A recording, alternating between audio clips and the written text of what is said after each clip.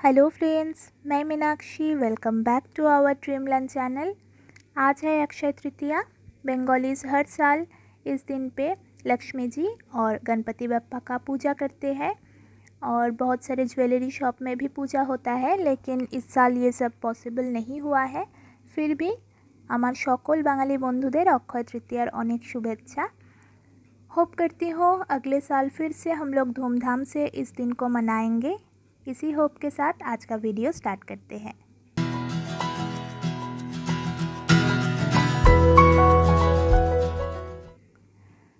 आज बात करूँगी इस बहुत खूबसूरत सी फ्लावरिंग प्लांट के बारे में।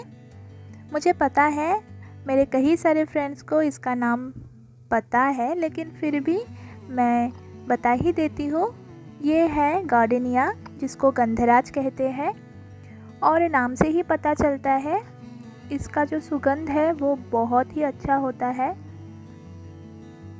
और ये जो प्लांट है, ये बहुत ही इजी टू ग्रो है और कटिंग से भी बहुत आसानी से ग्रो हो जाता है और बहुत ही easy to grow easy to care है। तो चलिए थोड़ा बहुत केयर के बारे में भी अभी बात कर लेते हैं। पहले बात कर लेते हैं इसके लाइट रिक्वायरमेंट के बारे में। वैसे कहा तो जाता है, ये डायरेक्ट सनलाइट में बहुत अच्छे से ग्रो होता है। लेकिन मुझे लगता है, बहुत ज़्यादा धूप में रखने से इसका जो पत्ते हैं, वो पीला पड़ जाता है, सूख जाता है और गिर जाता है। तो प्लांट उतना हेल्दी नहीं रहता है। तो इसीलिए पार्शियल शेड में ये अच्छे से ग्रो होता है। सुबह का तीन या चार घंटे का सनलाइट इसके लिए इनफ है। क्योंकि बहुत ज़्यादा शेडी एरिया में रखने से इसका जो बर्ड्स है, वो नहीं प्रोड्यूस होगा फ्लावरिंग नहीं कर पाएगा।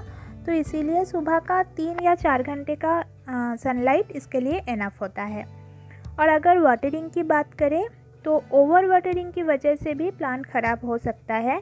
ये मेरा एक्सपीरियंस है पिछले साल का। ओवर वाटरिंग से इसका सभी पत्ते गिर जाता है, पीला पड़ जाता है और बर्ड्स जो है, वो भी प्लांट से गिर जाता है। तो पानी का थोड़ा ध्यान देना पड़ता है। अगर मैं इसके सॉइल के बारे में बात करूँ तो इसको वेल ड्रेन सॉइल में लगाना है। तो इसीलिए गार्डन सॉइल के साथ थोड़ा सा नीम खली थोड़ा सा वर्मी कंपोस्ट काऊ डंग और मैं सैंड यूज़ की है।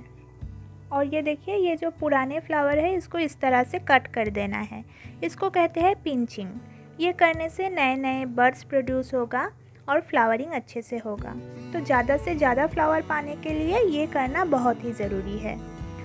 और मैं महीने में दो बार इसमें कभी कभी वर्मी कंपोस्ट कभी कभी मैं जो किचन वेस्ट का जो कंपोस्ट होता है वो कभी मास्टर केक का लिक्विड फर्टिलाइज़र ये सब डाल देती हूँ।